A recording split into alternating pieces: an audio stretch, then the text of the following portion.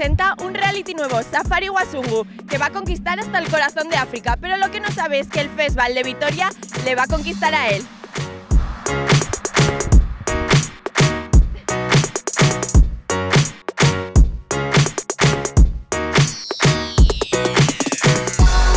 Tenemos con nosotros a Gochon, al conquistador del fin del mundo, pero que esta vez viene para presentarnos un programa nuevo que presenta en ETV, Safari Wasungu. Bueno, Anguietorri, Gochon. Es que ricasco.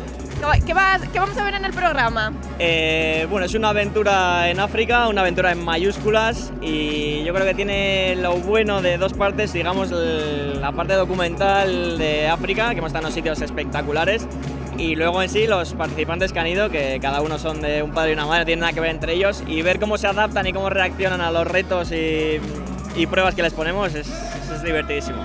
Gochon siempre conquistando todo y siempre haciendo pruebas difíciles.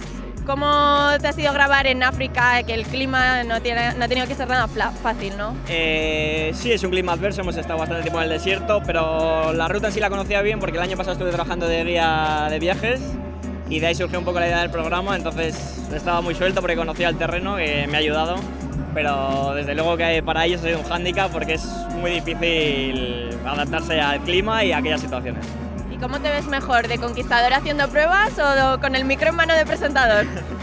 Hombre, a mí África me apasiona y es de los destinos que más me ha enganchado y me ha enamorado, entonces para mí ha sido un, o sea, un programa especial.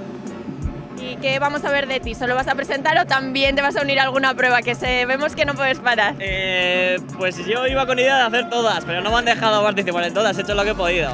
Pero, pero ha sido un auténtico lujo, me lo he pasado en grande. Eh, ¿Qué te parece el Festival de Vitoria? Bueno, he estado dos veces, una con el Conquistador, otra con el Conquistador de la Concagua y ahora ya he dado un salto importante, vengo como presentador y la verdad que me quedé alucinado con la acogida que tiene, la de gente que viene y para mí es un, es un lujo y un privilegio poder estar aquí estrenando Safari Wasungu. Bueno, pues el privilegio es nuestro y esperamos que el programa vaya bien, que seguro que es todo un éxito. Muchas gracias, ojalá que sí.